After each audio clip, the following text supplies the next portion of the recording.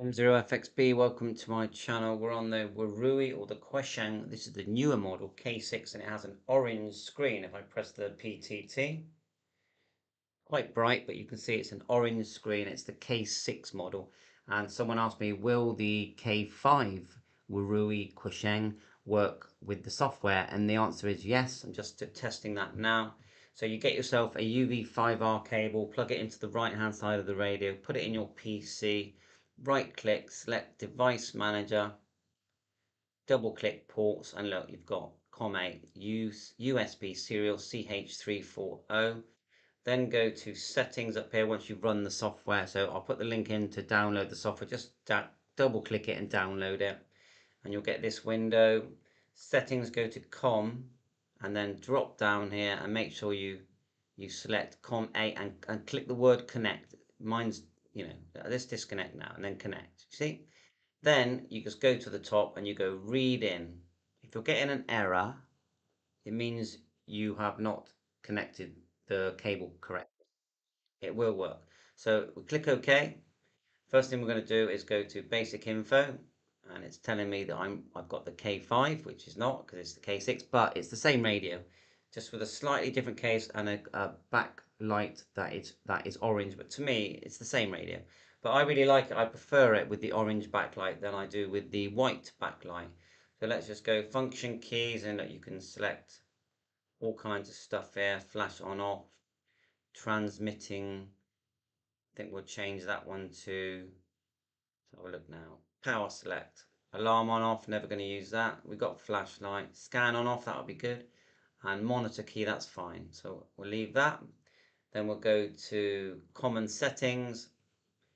You can look here. Backlight, five seconds is the longest, which is such a shame because we want it on permanently. Single talk max length, is that minutes, do you reckon? So let's go put it to about four, five, yeah.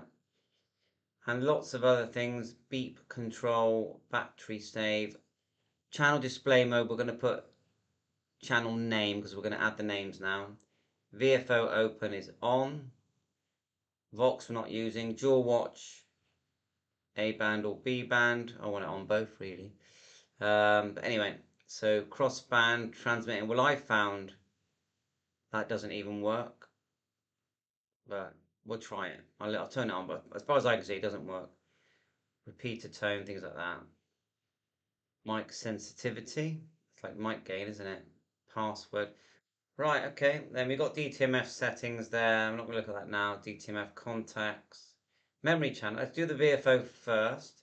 These are the presets. Look, look at that. It's got 50 megs, 120, 145, 245, 350, 4. Uh, it's, it's a lot, isn't it? And it's just some of the memory channels that are in it. We haven't done scan list. There's your FM radio. Nothing at the moment. Frequency, I'll just put one in. 94.300 is radio 4 BBC. Okay, we've got that one in.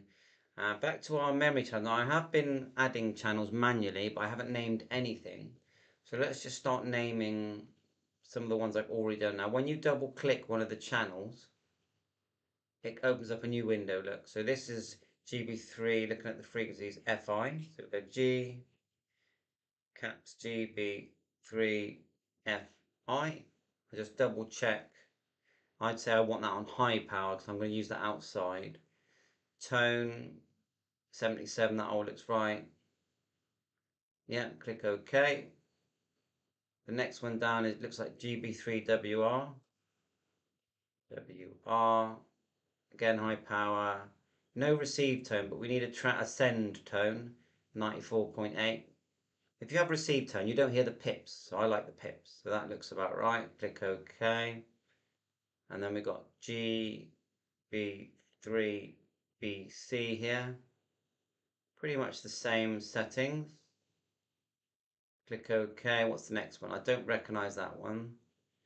Um, there's Z, I think that's ZB. So G, B, 3, ZB. Yeah, uh, so you've got send tone and tone is 77.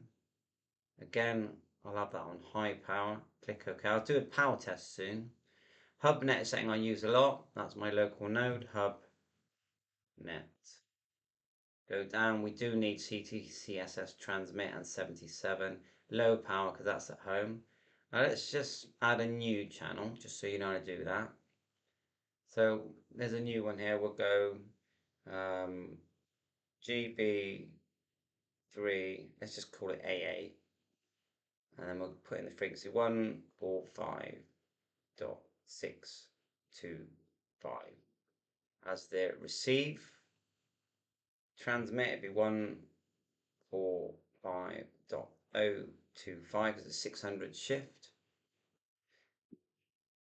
like so and then it'll be high power transmit CTCS that's what so we want to turn off the receive we don't need that but the transmit send tone, CTCSS, is going to be around 77 on a 2 meter.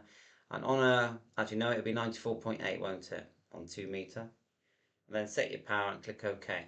So you get the idea, and then just send that to the radio, go right out. It's now writing to the radio, and then we'll have a quick look at the memory channels. Now to get this radio into memory mode, you press the F button down here. So, F, then 3, that's VFO and memory mode.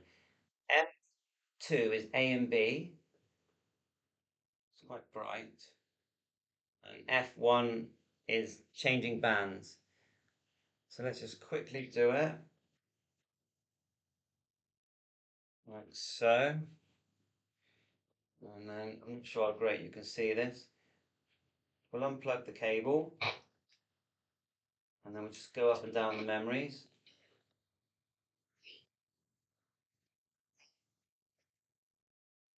We go F VFO three, that's VFO. Changing the frequencies. We put memory mode, go F3. We're in channel mode.